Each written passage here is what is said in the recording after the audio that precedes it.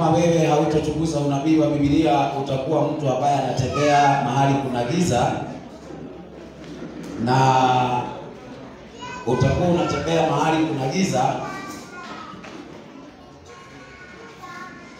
na hauna kile ambacho kitaweza kukumilikia. Ah, tuliweza kuangalia unabii katika kitabu cha Danieli mbili na tukaangalia ndoto ya mfalme Nebukadneza. Mfalme Nebukadneza alikuwa ameoteshwa ndoto ambayo ilienda sawasawa na kile ambacho kitakachoendelea siku za mwisho, na kweli tulifuatilia ndoto hiyo na tukaona kwa kweli ni ndoto ambayo inaenda sawasawa na vile ambavyo Biblia ilivyosema. Hata historia yenyewe imekubaliana na ndoto hiyo, kama vile Biblia iliweza kuelezea ya kwamba ulimwengu huu ambao tunaishi kutakuwa na wafalme ambao watatawala, lakini wakati wa kutawala kwao utafika mwisho, na tukaona ya kwamba wafalme hao watakapofika mwisho, kuna ufalme ambao utakaosimama ambao utatoka mbinguni, na ufalme huo ni Mungu atakayekuwa anatawala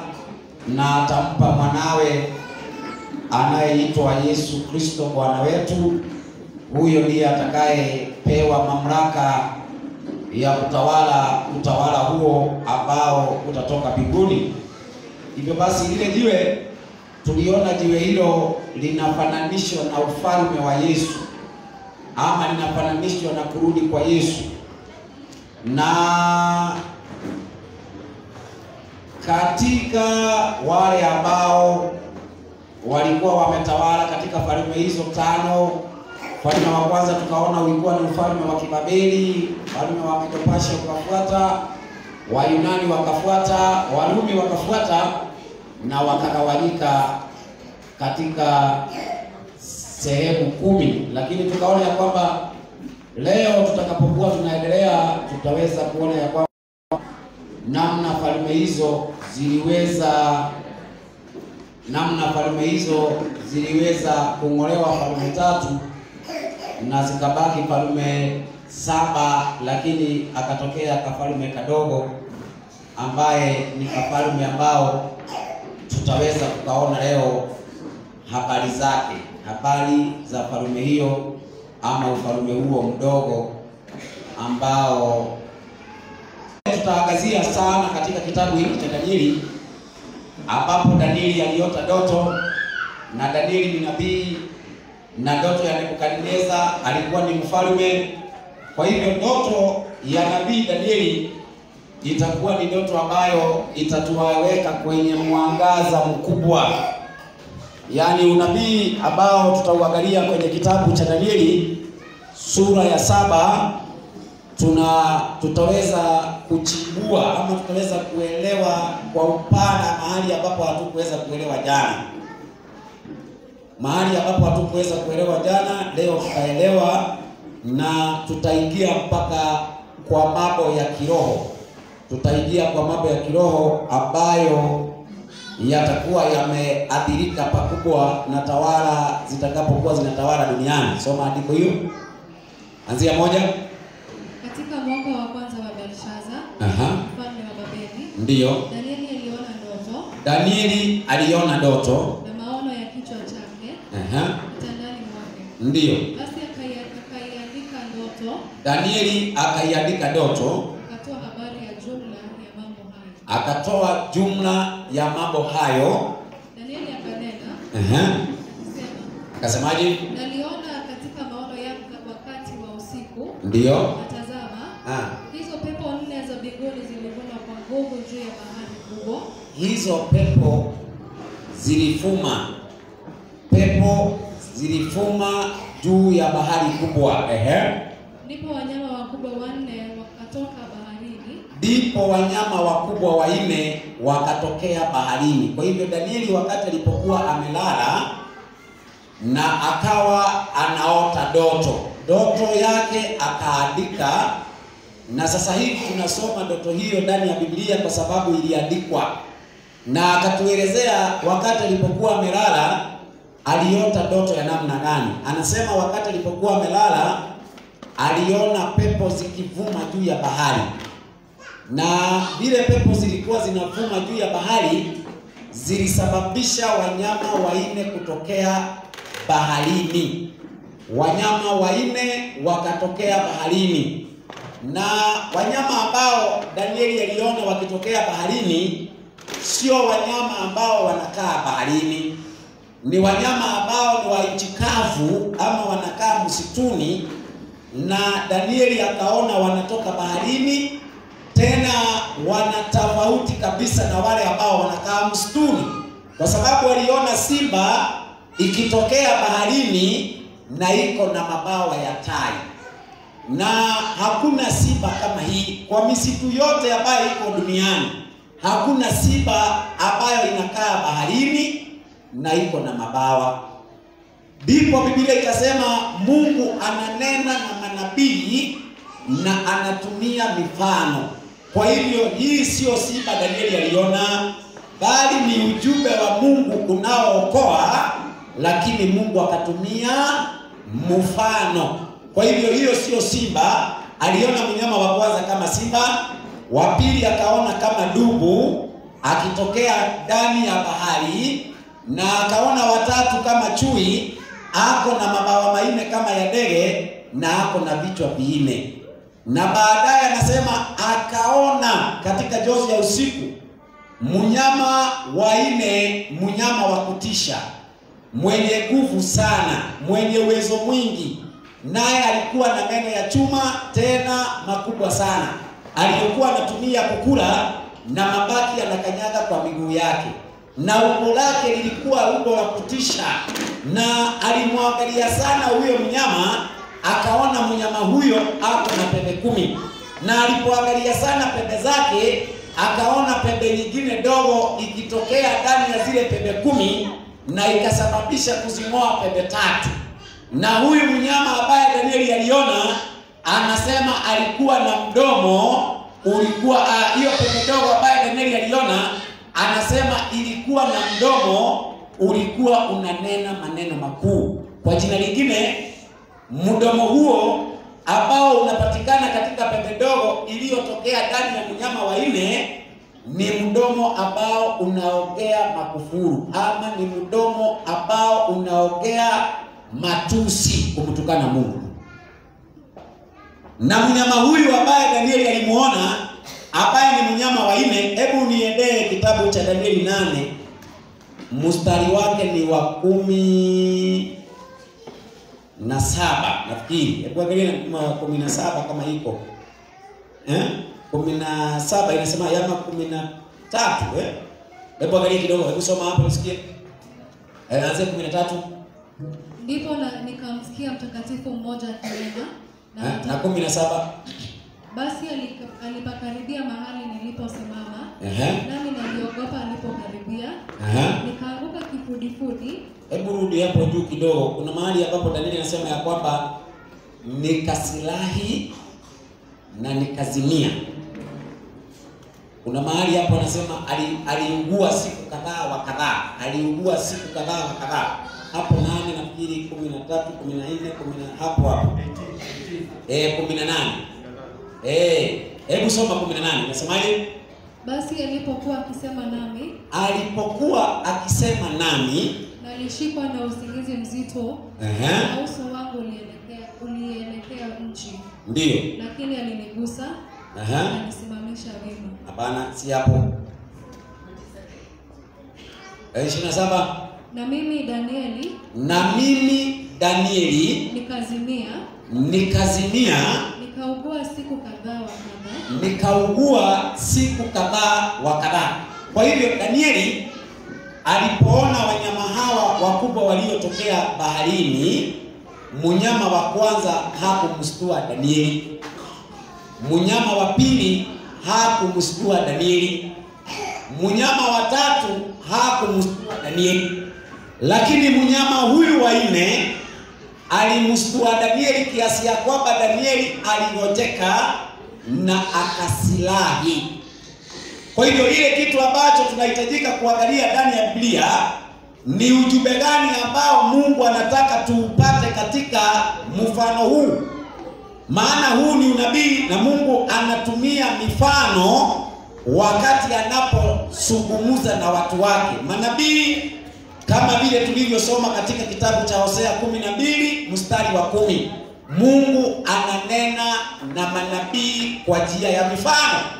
Sasa ili tuweze kujua ni ujumbe gani ambao Mungu anapeana kupitia kwa mifano hii, naomba unisomee Danieli saba mstari wake ni wa kumi na saba. Danieli saba mstari wake ni wa kumi na saba. Lazima tuelewe kwanza mifano ambayo Mungu anatumia ndani ya Biblia kuelezea habari kwa watu wake inamaanisha nini. Soma andiko inasemaje? Wanyama hao wakubwa walio wanne ni wafalme wanne watakaotokea duniani. Kumbe wanyama hao wakubwa ambao Danieli aliwaona ni wafalme wanne watakayetokea duniani. Kwa hivyo, kumbe maji yanasimamia dunia na kumbe wanyama wanasimamia wafalme wanne, wafalme wanne. Kumbe ndoto ambaye tuliangalia jana ya mfalme Nebukadneza na ndoto hii tunaangalia leo ya nabii wa Mungu anaitwa Danieli ni ndoto mbili, lakini zina eh, zinaoana ama ziko na maelezo sawasawa, lakini hii ya Danieli kwa sababu ni nabii itatuelezea mambo ya ndani ambayo hatukuelezewa jana na ndoto ya Nebukadneza. Maana ndoto ya Nebukadneza ilisema ya kwamba Nebukadneza aliona sanamu kubwa iliyokuwa na kichwa cha dhahabu na kifua cha fedha, tumbo ya shaba na miguu ya chuma na nyayo iliyokuwa na miguu na udongo. Sasa katika hii ndoto ya Danieli, simba mnyama wa kwanza anasimamia kichwa cha dhahabu, yaani simba anasimamia ufalme wa Nebukadneza ama ufalme wa Babeli.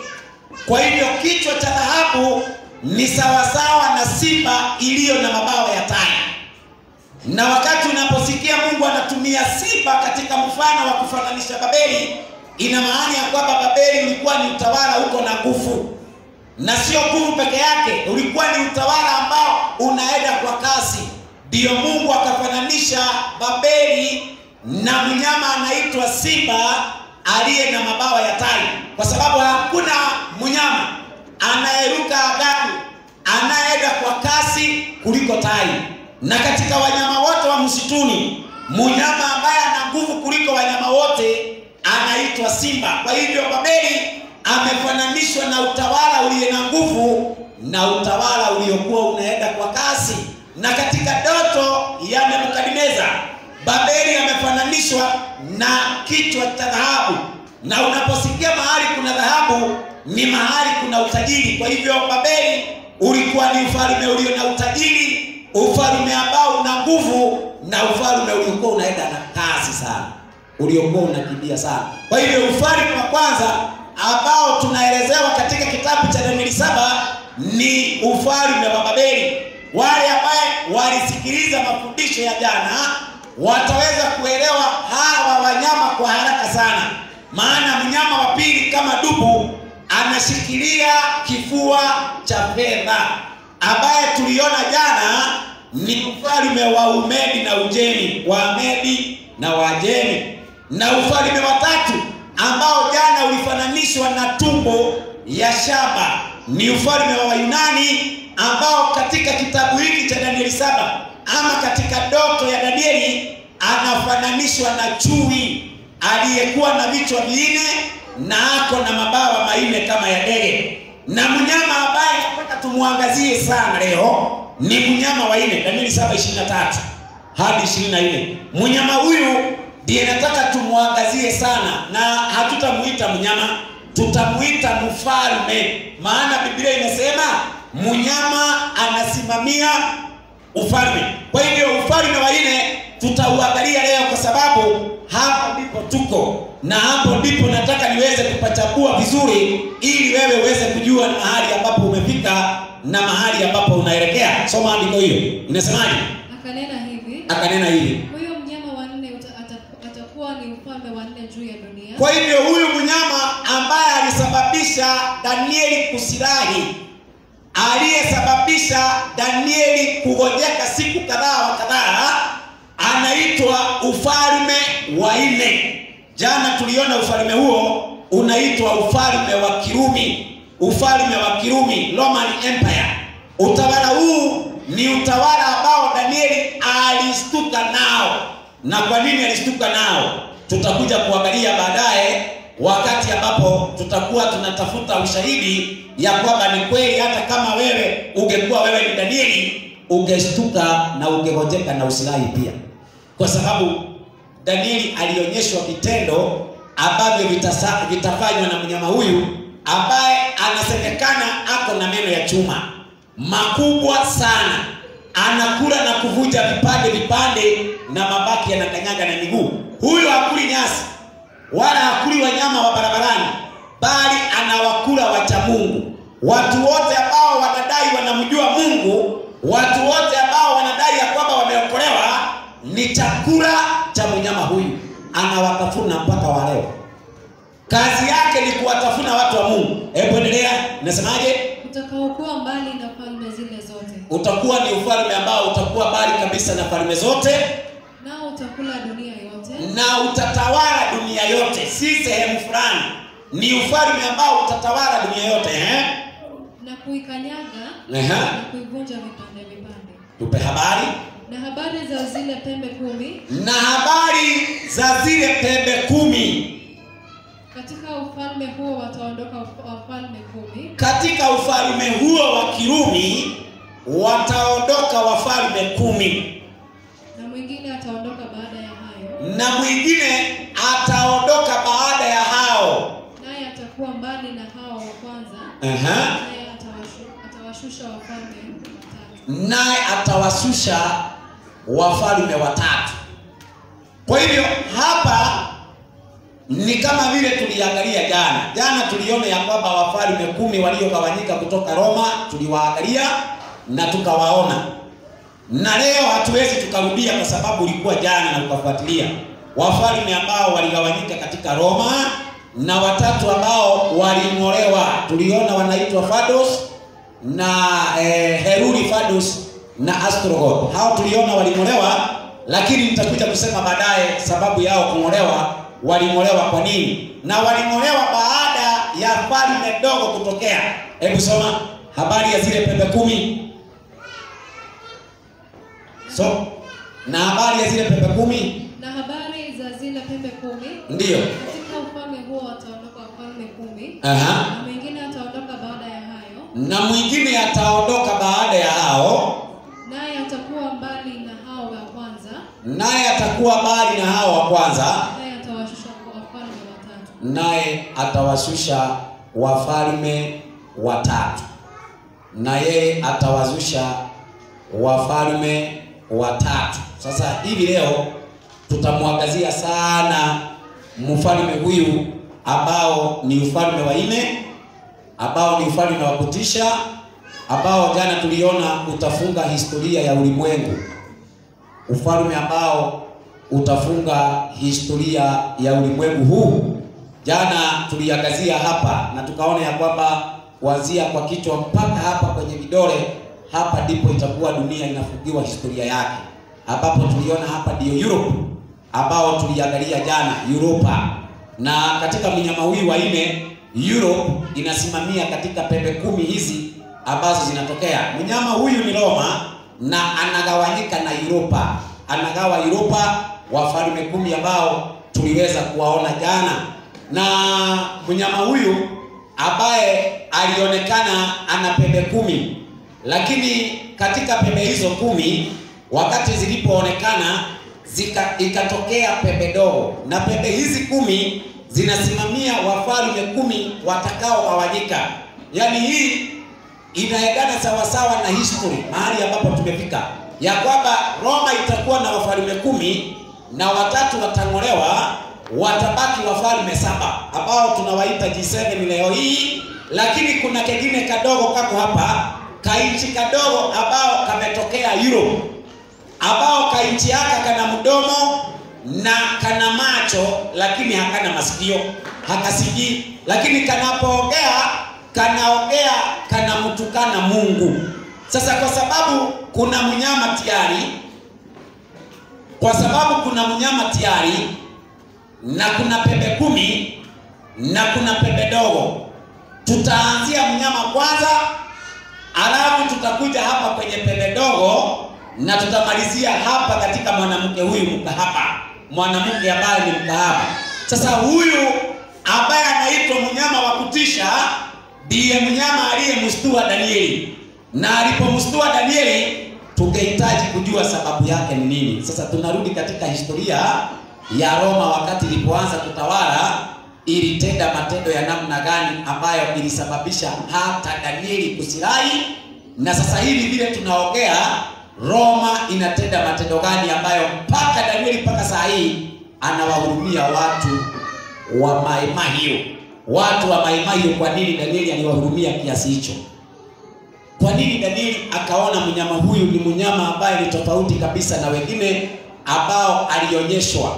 Anasema ya kwamba wale watu ambao wanaishi katika siku ambazo mnyama huyo anatawala, Danieli aliwahurumia sana mpaka Danieli alisilahi na mpaka akagojeka. Wakati wakati ambapo Danieli anatawala, wakati Danieli alipokuwa hai, alionyeshwa matendo ambayo atakayotendeka wakati ambapo utawala huu wa kufunga historia utakuwa unatawala. Maana tunaanzia dunia katika ubaji, Mungu akapeana kwa Adamu, Adamu kanyaganywa na shetani Shetani akampea Nimrudi, Nimrudi akanyakuliwa na Nebukadneza, Wamedi wakachukua, Wagiriki wakachukua. Wale watafunga historia ni Warumi, na Warumi watagawanyika, na katika kile ambayo watagawanyika ndio tunasema inaitwa Europe, ambaye tutaiangalia hapo kesho. Leo tunaangalia pagan Rome ama Roma ya kipagani na nini kilichomstua Danieli. Sasa hivi tuko na Roma mbili tuko na Roma ya, ya Europe na tuko na Roma ya kipagani.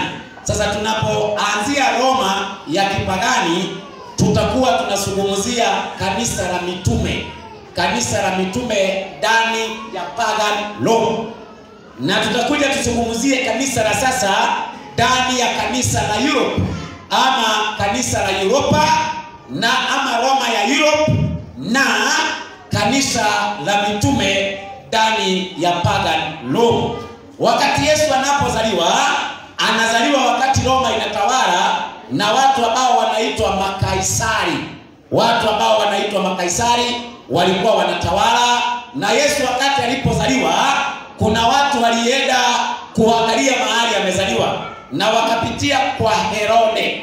Herode akasema, mtakapoenda mumuone huyu mfalme amezaliwa, mfalme wa Wayahudi mkuje mrudishe ripoti, mtuambie mahali amezaliwa, ili hata mimi niende nikamsalimie ama niende nikamtolee sadaka.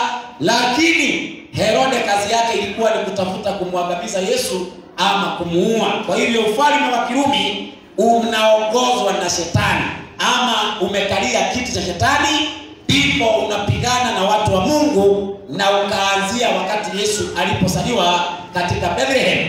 Wakati alipokuwa amezaliwa, walipokosa kurudi, wasipo walipokosa kurudi, waliagizwa vile walikuwa wameagizwa na mfalme Herode. Herode alitoa amri, akasema watoto wote wadogo, vijana wauawe. Yeremia akaonyeshwa, akasema kilio kilisikika Rama, Rakeli akiwalilia watoto wake na asipate mtu wa kumfariji. Haya ndiyo maneno ambayo Danieli alishtuka nayo. Hebu weka sauti. Danieli anasema alipojionea matendo kama haya yalimstua Danieli sana, akasema Roma ni mnyama mbaya, ni utawala wa kutisha. Wamama wakachijiwa watoto wao, wamama wakalia, wamama wakaomboleza, wakalia, na hakuna mtu ambaye aliweza kuwafariji. Haya ni maneno ambayo Biblia imeandika na inasema namna ambavyo watoto walivyouawa wakati Yesu anatafutwa auawe na utawala wa Kirumi. Wakati Yesu anapo anapotafutwa, wakati anapokuwa, ndipo tukaona mtu mmoja anaitwa Yohana, Yohana Mbatizaji ambaye alikuwa na roho ya Eliya, akaanza kuhubiri habari njema ya ufalme wa Mungu na kuwaambia watu watubu na kumwamini atakayekuja nyuma yake. Watu wakakuja kumtembelea Yohana, askari wakawa wanakuja kusikiliza, na Yohana akawaambia askari, nyinyi askari, msimdhulumu mtu, msistaki mtu kwa uongo, mnatoshokeni na mshahara wenu. Kwa hivyo hogo haikuanza kwa, kwa askari wa Kenya. Wakati Yohana anahubiri, kulikuwa na askari wanakula hogo, na Yohana akawahubiria akawaambia, nyinyi msije mkakula hogo na msije mkastaki kwa uongo, na mutubu dhabi zenu na mumwamini yeye atakaye kuja nyuma. Ndipo Yesu alipotokea akawa anaingia kubatizwa na akabatizwa ndani ya mto wa Yordani, na wakati alipokuwa anahubiri alitokea mtu mmoja anaitwa Herode. Herode akaja. Sauti imekwaje hapo? Iko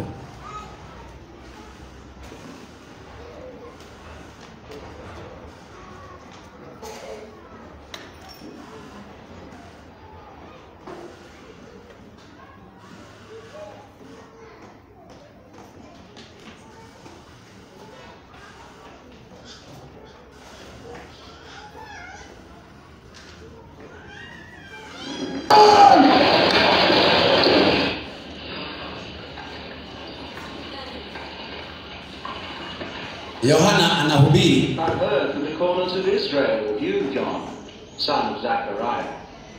and I've come to hear your message.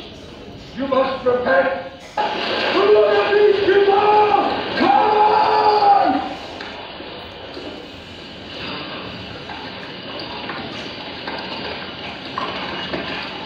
Huyu jamaa Herode wakati anapokuja anakuja kwa gari na hapo na mke wa mtu amenyaganya, yeye ameoa, mke na ako na yeye kwa gari, na amekuja kusikia mahubiri ya Yohana. Yohana akamwambia, wewe wewe mfalme Herode, shuka kwa gari, wewe shuka kwa gari, wewe una mke wa mtu rudisha mke wa mtu na utubu dhambi zako.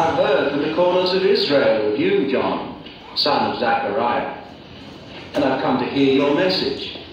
You must repent, Herod Antipas, for the sins that you have committed to your people. I come in peace, John. What sins do you speak of? You live in sin with this woman, Herodias. Hold your tongue, prophet. You are married to her brother, and yet you lay with him. Wewe ulikuwa umeolewa na brada yake, ukamwacha ukaolewa na Herode. Repent. Yaani hiyo ndio walikuwa wa- wahubiri ambao walikuwa na roho ya Elia. Wachana na hawa kina Uhuru. Wanasema repent na hawasemi kuna repent nini. Lakini huyu anasema ya kwamba wewe una mke wa mtu. Wewe ulikuwa umeolewa na ndugu yake. Tubu dhambi zako. Wakati ambapo dhambi hii ilipokemewa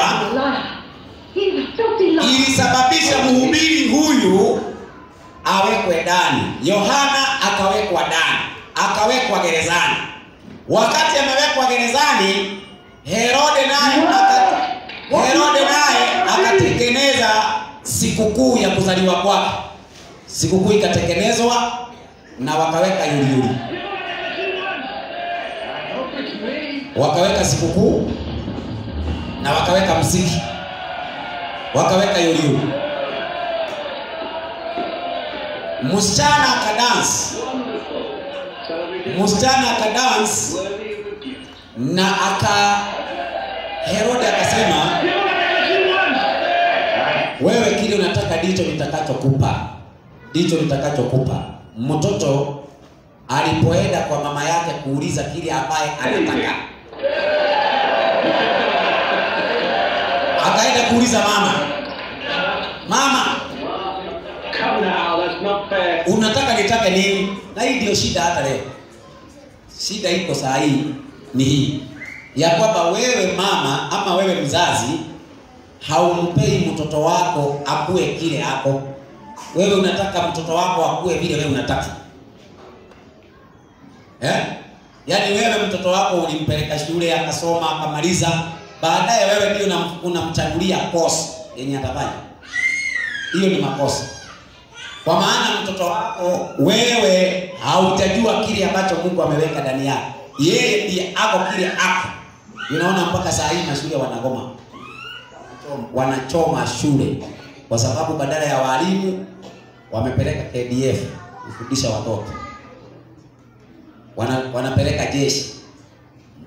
Badala ya waone watoto wanaona alichapa lakini kama mtu aliyekuwa na ile ile ile kipawa cha kuwa mwalimu ndiye alienda kuwa mwalimu akielewana na watoto, lakini kwa sababu mlipeleka KDF akakuwa mwa- mwa- mwalimu, sasa shule kila siku ni kushoma. Kwa sababu gani?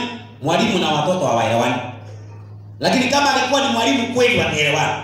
Na shida hii yote imeletwa na wazazi na, wa, na wanaendelea kuleta shida hii kwa sababu badala watake mtoto ajichagulie kile anataka kuwa, wewe unachagulia mtoto kile anataka kuwa. Wengi tu wewe una- unamfanya mtoto awe kile ambaye wewe unataka, si kile yeye anataka, unamlazimishia. Sasa huyu kimsichana ameambiwa "Huyu kile ambayo utaomba ndicho utakachopewa. Mtoto akaenda kuuliza mama, unataka nitake nini? Na mama dhambi yake imekemewa na Yohana. Mama akaambia mtoto, omba kichwa cha Yohana mwambie akupee kichwa cha Yohana Mbatizaji. Mhubiri ambaye alikuwa anahubiri habari njema, mama anasema kikombe aletewe, aletewe kichwa, aletewe kichwa. Yohana akakatwa kichwa akiwa gerezani, walituma askari. Yohana akiwa gerezani akakatwa kichwa, na mtoto akaletewa kichwa cha Yohana kikiwa kwenye kwenye sahani. I forgive you. I will live again in the kingdom of heaven. Sasa akakatwa kichwa Yohana Mbatizaji akiwa ndani ya gereza chini ya utawala wa Kirumi. Danieli anapoona hii anasema Roma ni utawala mbaya, utawala wa kutisha, na Biblia inapoongelea kuhusu Roma inasema Roma inaongozwa na shetani, ama kiti cha Roma ni kiti ambacho ni kiti cha shetani. Wakamchukua Yesu na wakamsulubisha msalabani. Walipomsulubisha Yesu msalabani, walipomsulubisha Yesu msalabani, Yesu alikuwa anawa, anawafundisha wanafunzi wake, anawaambia wakati nitakapoondoka duniani, msitarajie kupatana na ulimwengu, maana kama ulimwengu ungekuwa unapenda ukweli, ungenikubali mimi lakini kwa sababu mmeona vile wana, wana, wanavyonifanya ina maana pia na nyinyi ulimwengu huu hawatawakubali. Anasema wakati mtakapoona mnastakiwa ama mnanenewa neno baya kwa ajili ya jina langu, nyinyi mfurahie, kwa sababu majina yenu yatakuwa yameandikwa mbinguni na ufalme wa mbinguni ni wenu. Wakaanza na mtu mmoja shahidi wa kweli ambaye anaitwa Stefano. Stefano alitengeneza mkutano, mjadala, debate. Kama kuna mtu ambaye alikuwa debater, kama vile mnaona tunafanya debate na Waislamu, Stefano alikuwa debater, alikuwa mtu ambaye alikuwa na hoja, akasimama kidete, akawaremea kwa hoja. Alipowaremea kwa hoja, wakamleta Stefano katika kiwanja na wakampiga mawe Stefano. Wakati Danieli anapoona kuhusu ufalme huu wa nne, anasema ni utawala mbaya, ni utawala wa kutisha, na ni utawala ambao ulisababisha Danieli akazimia na akagojeka siku kadhaa wa kadhaa, kwa sababu ya matendo ambayo utawa, utawala huu umewafanya watu wa Mungu, kuanzia kwa shahidi mwaminifu anaitwa Stefano. Stefano Biblia imemwandika katika Matendo ya Mitume saba ukianzia kuanzia hamsini kuteremka chini, habari hizo za Stefano zimeandikwa, namna Stefano alivyopigwa mawe, na akaomba akamwambia Bwana Yesu, ipokee roho yangu, usiwahesabie dhambi, kwa maana hawajui wanalolitenda. Wakawa wakimpiga kwa mawe. Kuna jamaa anaitwa Sauli, anaangalia tendo ambalo wanalolitenda, anaona halifai, kwa hivyo yeye akasita kupiga mawe lakini akawa anapewa nguo na wanaompiga Stefano kwa mawe awashikie nguo. Biblia ndio inasema namna hiyo. Yeye Sauli aliona hili tendo ambalo wanalitenda si nzuri, yeye akaacha, akaambiwa basi, wewe kama hutaki wewe tushikie nguo tukuonyeshe. Wakampiga Stefano kwa mawe mpaka Stefano akafariki dunia. Sasa wewe hata hujawahi kutukanwa kwa ajili ya Yesu, na wewe unafikiria kuna kitu umefanya. Umefanya nini? Wakati watu waliokuwa ni mashahidi waaminifu walisimama kidete. Wakati huo huo Yesu akamtokea Paulo ambaye anaitwa anaitwa Sauli, na akamwambia kutoka leo nitakufanya kuwa mtumishi na nitakutuma kwa hao waliokuwa wanakutuma ili waokoe, watoe kwa shetani, walete kwa Mungu, watoe kwa giza, wapeleke kwa nuru. Kazi hii Paulo amefanya kwa hatari nyingi. Alikuwa anapata hatari katika nchi kavu, katika baharini na kutiwa gerezani. Unaposoma barua nyingi za Paulo, anaandika akisema Paulo mfungwa wa Yesu, Paulo mfungwa wa Kristo, kwa sababu alikuwa anaandika akiwa jela, akiwa amekamatwa kwa ajili ya jina la Yesu, maana walikuwa wanakatazwa kuhubiri kutumia jina la Yesu, wakawa wanasimama kidete wanahubiri, lakini wanapelekwa gerezani. Paulo akaandika, hebu nipe Timotheo wa pili ine mstari wa sita. Hili andiko watu wanaandika wakati wanaenda mazishi, lakini Paulo hakuandika hili andiko akienda mazishi. Hapana, aliandikaje? Hebu soma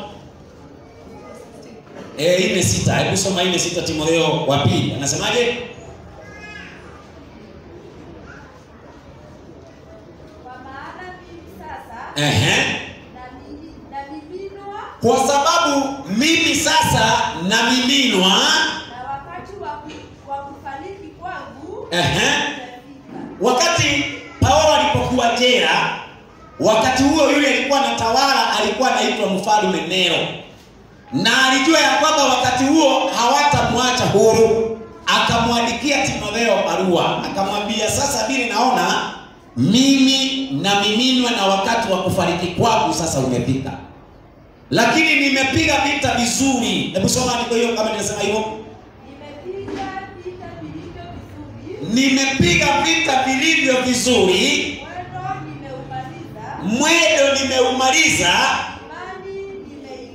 na imani nimeilinda. Ukiendelea chini, anasema sasa nagojea taji ya uzima ambayo Mungu atanipa siku ile. Na Paulo kwa kweli alifanya kazi.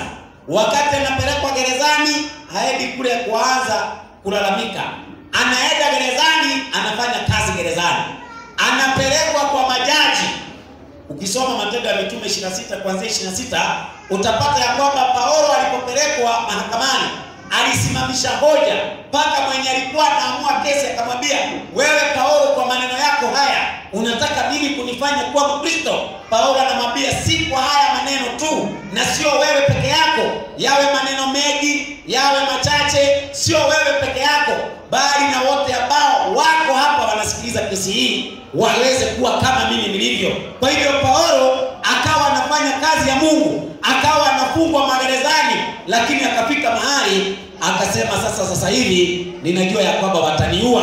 Yesu naye alikuwa amesema, msiogope wauao mwili, bali ogopeni yule anaweza kuua mwili na roho katika jehanamu. Kwa hivyo hawa mashahidi wa kweli ambao walikuwa wanahubiri injili ya kweli chini ya utawala wa Kirumi ama wa Roma wa pagani walikuwa wa, hawako wako tayari kufa mwili lakini wasife kiroho. Walikuwa tayari wauawe mwili lakini wasiuawe kiroho. Kwa hivyo Paulo akasema ya kwamba sasa hivi mimi nina nitauawa na ninakuandikia barua hii pia wewe uweze kuwa mtu wa kulinda imani. Paulo akaletwa katika uwanja huu na akasomewa mashtaka yake na akasema ya kwamba sina lingine mimi kitu ambacho niko nacho sasa ni kukuachilia ni kuachilia muue lakini siku ya mwisho nitafufuliwa paulo akaletwa hapa na akasomewa mashtaka yake akasomewa mashtaka yake ameenda kinyume na sheria ya waroma Paul Targus, a Roman citizen found guilty of treason against the majesty of Rome, died by the axe. akasema nimepiga vita vizuri anaweka kichwa chake hapo chini na wanamkata kichwa. Alafu wewe unakaa tu. Unafikiri mtu ambaye anapeana kichwa ni pesa alikuwa amebakisha kwa mfuko? Kama amefika mahali anawekelea kichwa anasema ya kwamba hakuna lingine. Mimi kazi nimefanya na imani nimeilinda. sasa hapa ndipo danieli anasema nilipoangalia utawala wa nne roma ni utawala mbaya utawala wa kutisha. Utawala ambao ulimstua danieli sana kwa vile mtakavyopigana na watu wa mungu. Sasa viwanja hivi ambavyo unaona ni viwanja ambavyo mpaka sasa hivi vinalindwa kwa sababu zilitumika kwa ajili ya kuwagandamiza watu wa mungu. Wale ambao walikuwa imagine wewe ni mkristo unachukuliwa mke wako anafungwa alafu unapewa unapewa umma upigane na mnyama kwa sababu ya kristo kwa sababu ya imani. Nao waroma wako kule wanashangilia. Unaona hii mipira ambayo watu wanaona saa hii? Akina arsenal. Wanaona katika viwanja hivyo. Hizo viwanja vimekuwa vya kuwatesea wakristo wakati wa zama za roma ya kipagani. Yaani wa wakristo wamepitia hali ngumu sana takribani wakristo milioni mia moja wameuawa chini ya utawala wa kirumi ama pagan Rome. Ndipo Danieli anasema Roma ni utawala mbaya, kwa sababu ni utawala uliowatesa watu wa Mungu.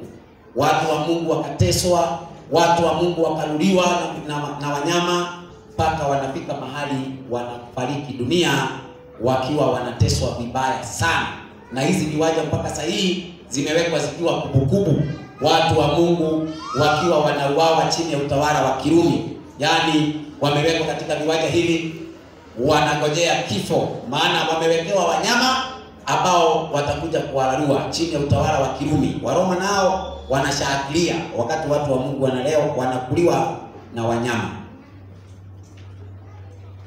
Mpaka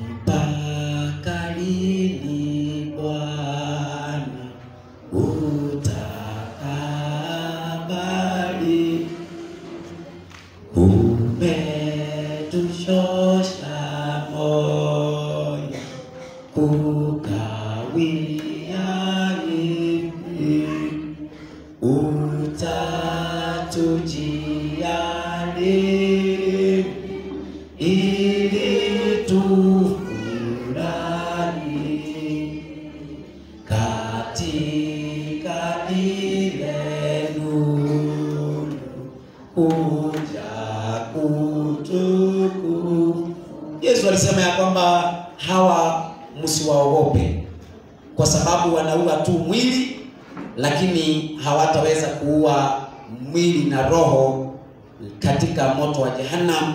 Yule atakayefanya kazi hiyo ni Mungu mwenyewe. Wakristo wakalaluliwa na wanyama chini ya viwanja. Waroma wanasherekea kama vile watu wanaenda kusherekea Manchester na Arsenal wakipigana uwanjani. Watu wa Mungu wakakuliwa, watu wa Mungu wakateswa. Ndipo Danieli anasema Roma ni mtawala wa kutisha na ni mtawala mbaya. Mahali injili hii imetoka, imetoka mahali mbaya. Injili hii imetoka mahali ambapo watu walimwaga damu, watu walikufa, watu waliuawa kinyama wakiwa wanatetea imani. Wakristo wakateswa chini ya utawala wa Kirumi. Ndipo Danieli anasema Roma ni utawala mbaya, ni utawala mbaya sana. Watu wa Mungu wakateswa, watu wa Mungu wakakoliwa na wanyama, baadaye wakaanza kusurubishwa wakiwa hai. Yaani wewe uko hai unapigiliwa msumari, alafu chini ya hiyo mti wanaakisha moto, unawaka moto, uko hai chini ya utawala huu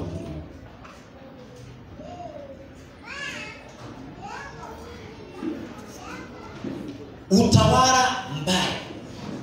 Danieli anasema alipoangalia, wakati alipoonyeshwa hii, anasema alizimia, anasema aligojeka chini ya utawala wa Kirumi. Roma ya kipagani, namna ilivyowatesa watu wa Mungu, namna ilivyowatesa watu wa Mungu, watu wa Mungu wakauawa kinyama chini ya utawala wa Kirumi.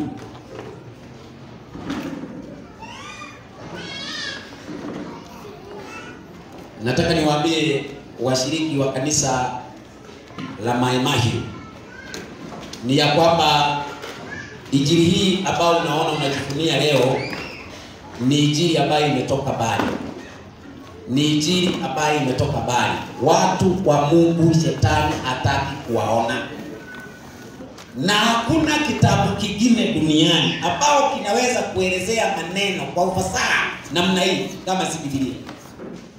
Biblia inaelezea haya maneno kwa ufasaha kabisa, tena inaenda sawasawa na historia, namna ambavyo Wakristo takribani Wakristo milioni mia moja wameuawa chini ya utawala huu wa Kirumi, utawala wa Kirumi. Kisha miguu juu, kichwa chini, wakampigilia msalabani. Wakampigilia msalabani miguu juu kichwa chini, wakamchukua Yohana wa Patmo. Yohana wa Patmo walikuwa wamemchemsha. Mafuta ambayo imechemshwa, anawekwa ndani. Lami ambayo imechemshwa, anawekwa ndani, wanamfunika. Lakini kwa sababu Yesu alikuwa hajamalizana na mwanafunzi wake huyu Yohana, maana kuna ujumbe wa kipekee ambao Yesu alikuwa anapata kujifunua kwa Yohana ambao tutauangalia ifikapo kesho. Ifikapo kesho tutauangalia ujumbe wa kipekee ambao Mungu alitaka kujifunua kwa Yohana na akaona ya kwamba hatakubalia Yohana alale ama Yohana auawe mpaka atamaliza mwendo na aweze kutoa ujumbe huo, na wakamchemsha, lakini wakashindwa. Yesu akamtokea kule kwenye kisima cha Patmo, akamwambia mimi ni Alfa na Omega, mwanzo na mwisho. Ufunuo wa Yohana 2:10 akamwambia uwe mwaminifu hata kufa, nami nitakupa taji ya uzima. Uwe mwaminifu hata kufa, nami nitakupa taji ya uzima. Na pia mpaka wa leo wale watu ambao watamaliza mwendo salama ni wale ambao watakuwa waaminifu pade ya Mungu, na wakati watakapokuwa waaminifu pade ya Mungu lazima wataamsha mashambulizi kwa wale ambao hawapendi ukweli. Soma andiko hiyo. Usiogope mambo yatakayokupata. Usiogope mambo yatakayokupata. Tazama, Tazama, huyo ibilisi atawatupa baadhi yenu gerezani huyo ibilisi atawatupa baadhi yenu gerezani ili mjaribiwe, mtakuwa na dhiki siku kumi. Mtakuwa na dhiki siku kumi. Uwe mwaminifu hata kufa, Uwe mwaminifu hata kufa, nami nitakupa taji ya uzima. nami nitakupa taji ya uzima. Yohana akakuwa anauliza mambo mengi, lakini akapewa jibu. Inasema katika hiyo Ufunuo wa Yohana ile mstari wa tisa, anasema alipofunguliwa muhuri wa tano, akaona roho zao waliochinjwa kwa ajili ya neno la Mungu na kwa ajili ya ushuhuda waliokuwa nao, lakini walikufa wakiwa washindi, maana hawakukubali kamwe, hawakukubali kamwe kuweza kuingia katika sehemu ambazo ni za kumkana Yesu. Walikufa wakiwa washindi. Wanafunzi wa Yesu namna walivyouawa, waliuawa kwa sababu walijua mambo ni mawili, ila ufe kiroho kama vile Roma inataka ama uwawe kimwili ambaye Roma itakuua utakapokataa mambo yao, ukubali mambo yao, ukose katika ufalme wa Mungu, ukose katika ufufuo wa kwanza, na ukubaliane, ukataane na mambo yao, ufufuo wako uweze kupatikana katika ufufuo wa kwanza. Naomba uwasome vile walivyouawa, alafu ukisikiliza hiyo nyimbo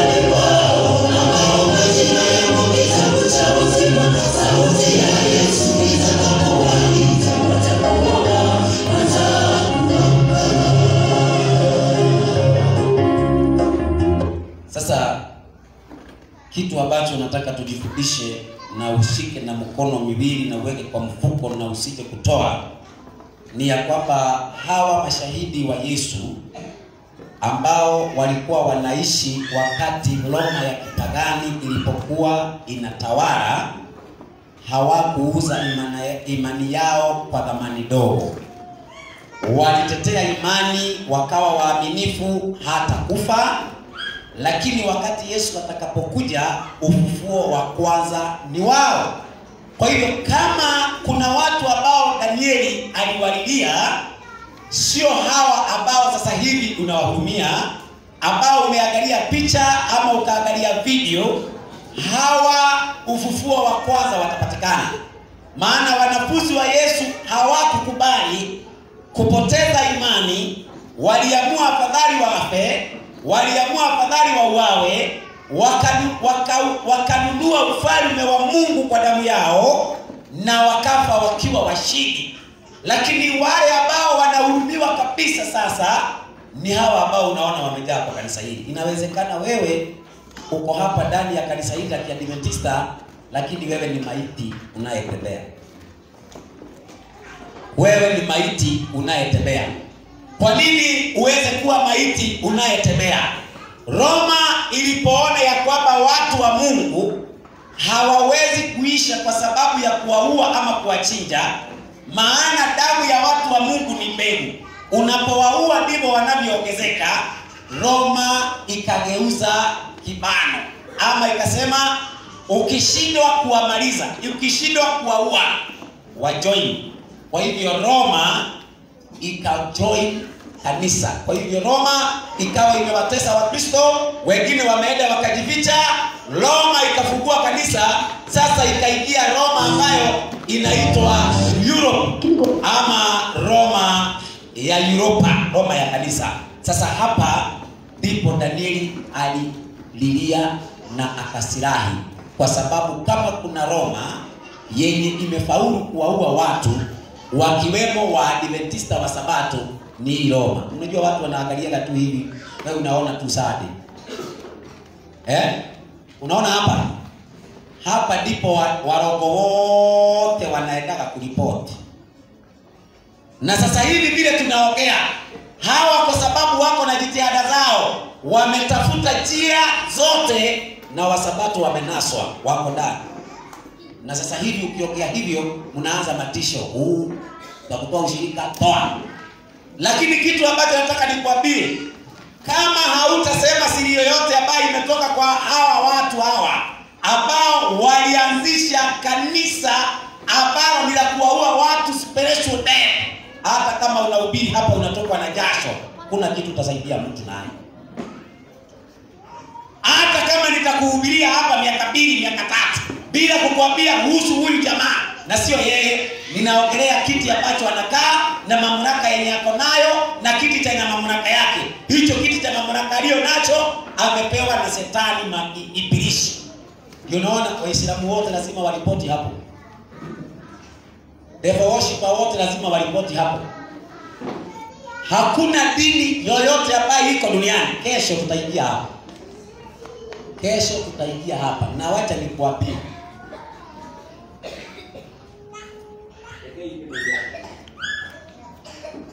kama kuna kitu ambaye kitapoteza Waadventista wa Sabato ni kukataa kuambiwa ukweli na kuwa wakali kuliko hata Waislamu. Kama kuna watu ambao ni wakali dunia hii ni wa Sabato, hii ni watu wakali kuliko hata watu wa Jumapili wakati itakapofika ni kuambia ukweli ambao hamtaki. Mnakuwa wakali, mnakuwa na matisho na vitu vyote ambavyo vilifanyika na Wayahudi wa siku hiyo. Na sasa hivi vile tunaongea, hii Roma imeingia kwa Yesu. Na sasa hivi ukianza kutoa kwa SDA, unaanza matisho. Simuingia kabisa. Nataka niwaambie mkiwa hapa kwa hii.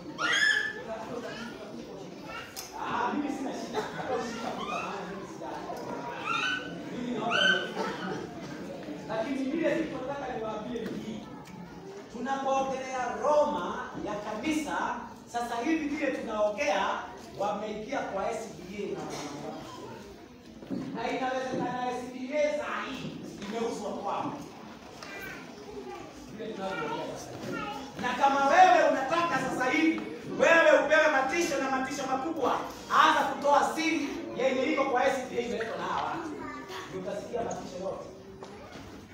Eh, na mimi sasa hivi mimi natajua pengine wale ambao hata mimi nafikiri kwa kwa kwa kwa kwa kwa kwa kunialika kwangu hapa nafikiri kuna brada amenifanya unajua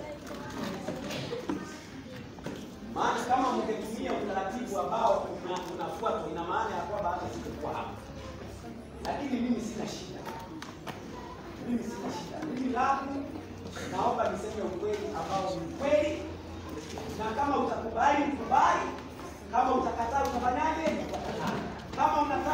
unataka nimseme niseme, kama utaki niseme weka kutisha. Mimi naamini ya kwamba naweza enda pale barabarani na niweke spika zangu mbili hapo, watakaonisikiliza wawili, natosheka na wao, naenda nyumbani. Na sasa hivi kwa sababu tuko hapa ndani, hapa ndani niko hapa, ndio nikwambie kuhusu huyu alileta sadi, nani wajui? Sasa nitakuwa nikokwambia sadi, nikusaidie nani wajui? Na sasa hivi unajua kuna kile ambaye kiko hapa kwa SDA zaidi ya sana, na wao wenyewe ndio wameleta, na mtu yoyote ambaye ataweza kusema hiyo,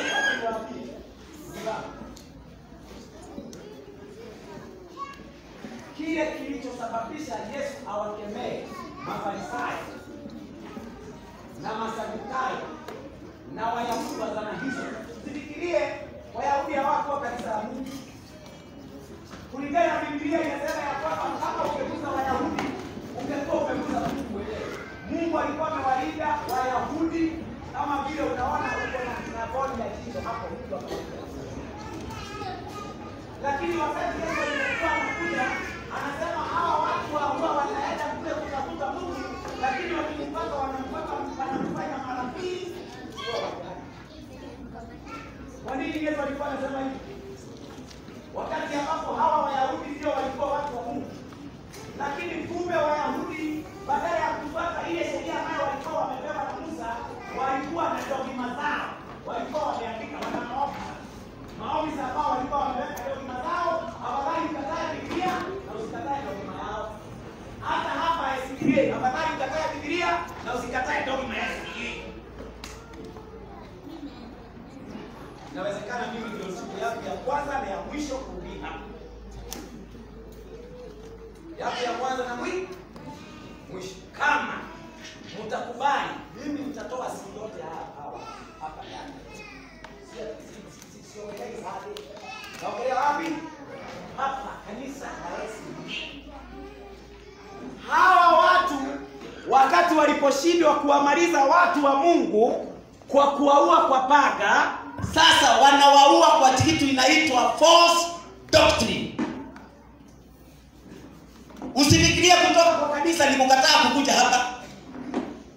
Hata ufikirie ati sasa wewe umekataa ati kwa sababu ukuji hapa ati ndio ukuji kwa kanisa. Kuna watu ambao wako hapa kwa hizi viti na hawako kanisani. Walitokana. Maana kanisa ni wakati wewe utakuwa mshirika ambao unakubali uongo. Wakati nakapoingia uongo na ukubali uongo. Tumekuwa na hapo vijana, nimeuliza maswali hapo wameweza kujibu juu ya hiyo so doctrine za uongo. Vijana, habari zenu? Mko wapi? Eh, nimewapea huko na waniletee jibu kesho, na kama hamuna mniambie kwa nini hamuna na kwa nini hampati, wakati ni kitu mnaamini na mmeaminisha. Ndugu zangu, nataka niwaambie hii Roma ya kanisa ni Roma ambayo inafanya kazi kwa ujanja sana, na watu wasipoamka na kusoma vitabu. Kwa mfano, leo hii mimi naomba niwaulize swali katika watu wote ambao ni watu ambao ni powerful sana kwa ujumbe wa unabii, ni watu wangapi sasa hivi hamjawapea jina la offshoot? Hata Yesu alikuwa offshoot. Mimi kwanza najifunia kuwa offshoot. Mimi najifunia hivyo. Kama nitaitwa offshoot kwa kusema ukweli, wacha iwe hivyo. Unaelewana? Na ni watu na sasa hivi imesababishwa sasa hivi kabisa kuna kuna kitu kinaitwa hapa chini nasikia kuna kuna kitu inaitwa. Umesikia? Sasa kwa nini sasa hivi kanisa limefika mahali ya kugawanyika kiasi hicho? Hawa wanakuja sijui hawa wanakuja sijui fulani, hawa wanakuja sijui fulani. Kuna shida gani? Ni nini kiko hapo ndani? Kuna nini?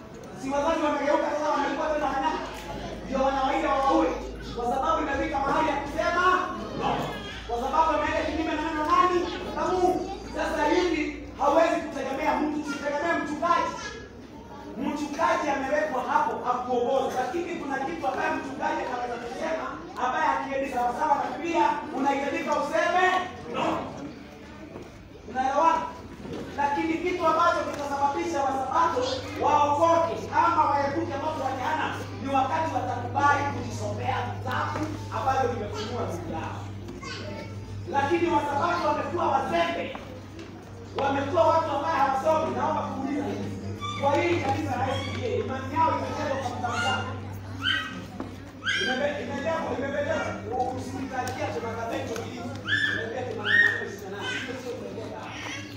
kimejengwa kwa mfano, hata kama hiyo iko na maneno hapa ishirini na nane si ndio? Nane usiseme hivi tu mwenye ahadi. soma hizi vitabu za roho ya unabii, soma na Biblia, alafu uweke uweke ile ile mandamento bilifu ndani. Kama itaenda sawasawa, kubali. Kama itaenda kinyume, kataa. Unaelewana? Habari zenu? Ama nimekuwa adui yenu? Unajua kuna Wagalatia ile inasema nimekuwa adui yenu kwa sababu ya kuambia hiyo kweli. Mimi ninawaambia hapa ndani, lakini nikienda pale ile siwezi sema siwezi sema kwa sababu ninataka nikusanye watu wajae hapa ndani, tuwaambie wote mkiwa pamoja. Unaelewana?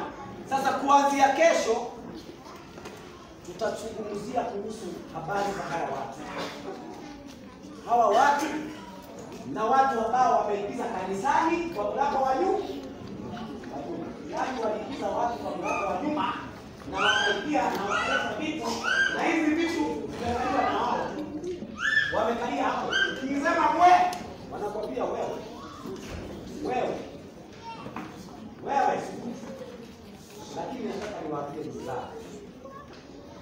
kitu ambacho kinaweza kufanya wewe ukaamuka na ukapotea ya ni wakati utakapotolewa kwenye msingi. Naye sikia miaka ukae miaka hamsini, lakini tulitolewa kwenye msingi wa kweli, jehanamu lakini wakati naposema alizidi alizidi na Roma ya kanisa watauawa katika kesho,